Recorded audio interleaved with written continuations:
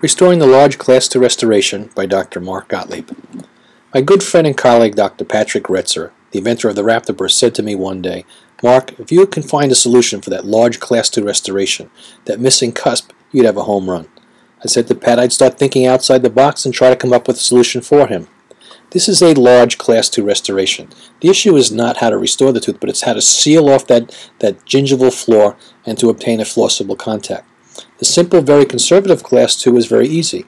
You can pre-wedge or wedge with a standard wedge, place a matrix banded separating ring, and achieve anatomically correct contours and a flossable contact. The only issue I found with the simple conservative class 2 is tooth sensitivity. So by using a glutaraldehyde and hemol solution like Microprime G, it seems to eliminate that problem. The patient who presents with that black bicuspid seems to be the real challenge. We've got a tooth number 4 that's black from a large existing amalgam with overhangs. And what we want to try to achieve is we want to try to achieve anatomic contours and tight flossable contacts. So one day I'm cleaning up cement on a patient and as I take a scale into the cement, I realize that this big chunk of cement really looks like an anatomic wedge that's placed from the buccal and lingual. Then a light bulb went off in my head saying that would make a really nice anatomic wedge that would prevent the matrix band from being crushed in that wide open box with that missing cusp. So I hired an engineer, showed him all the existing wedge systems that are out there to design a new wedge, a new anatomically correct wedge wasn't really happy with the first design, so we went back and reinforced it, came up with a new design, which really wasn't what I had in mind. I went back to the drawing board, placed a sycamore wedge between some, some Typodont teeth with some cold cure acrylic, and made the first truly anatomic wedge. One of the issues you have with using separating rings is on short clinical teeth, or teeth that are conical in shape, is the separating rings seem to pop out of the mouth. By designing a slot or a wedge across the back of the, the wedge, you now have a way of securing that separating ring from, from flying off or popping out of the mouth. By taking a Dappen dish and some cold cure acrylic, I made up some really crude primitive wedges for me to try in the mouth. I sent those wedges off to a scanner and they were scanned into a CAD CAM image and we now had our initial drawings of the ABC or the absolute best contact wedge. The second version was close, but I wanted to deepen the groove on the back, flatten out the one side, and shorten the wedge part of the wedge.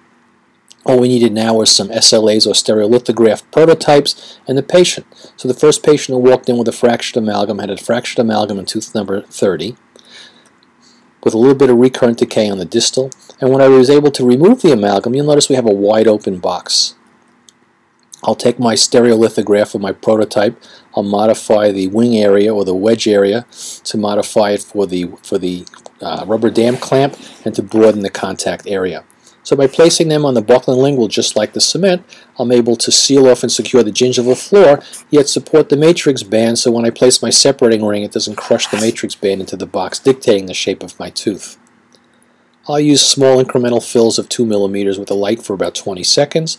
Once it's cured, I'll remove my separating rings and bands, and you can see we have a nice broad anatomic contour. Now I'm starting to see the light, and I'm very excited about my next patient. My next patient walks in with a fractured lingual cusp. In this case, I've got the smallest size sycamore wedge that I could try to jam between the bicuspid and the cuspid. What I'll do is I'll take my SLA, my prototype, I'll modify it to make room for the rubber dam clamp, and I want it to rest on the cingulum area, not on the papilla. What this does, it allows me to place a separating ring in an area where a separating ring would not fit because the contact area is too narrow and I wouldn't get the separation or the pressure that I needed from my ring system. And what we achieved is a nice broad flossable contact Every day, patients walk in with fractured or cracked teeth. This is a tooth that's got a fractured mesial buccal cusp. And the issue is, is that when the, the fracture is removed or the old amalgam is removed, by placing a separating ring, it crushes that matrix band into the box. By placing the ABC wedge on the buccal and lingual, we can now secure that, that wedge, or we can secure the, the missing cusp, burnish the matrix band against the wedge, place our separating ring, and we get a truly anatomic broad contour. The wedges themselves are very simple in design. They come on stalks of 12 and they're available in extra small, small, medium, and large, and available in left and right contours. Using a pair of rights or a pair of lefts together, they slide or they swedge past each other, sealing off the gingival floor and taking on the shape of the tooth. Once in a while the wedge may be a little bit too long and sticks up past the line angle of the buccal of the lingual and what I may need to do is shorten the, the tip of the wedge where it interferes against the, the wing part of the wedge.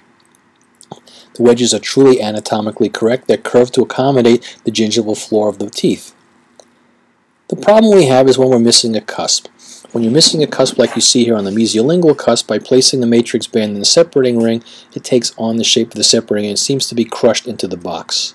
By placing the wedges on the buccal and lingual, it now supports the matrix band. You can burnish that band against the wedge, place your separating ring, and you get true separation and anatomic contours. We need to keep in mind that the tooth is not square rectangular, the surfaces are not flat, and we need to restore a tooth in three dimensions. The ABC wedge is your solution for that typical problem of that wide open box or that missing cusp.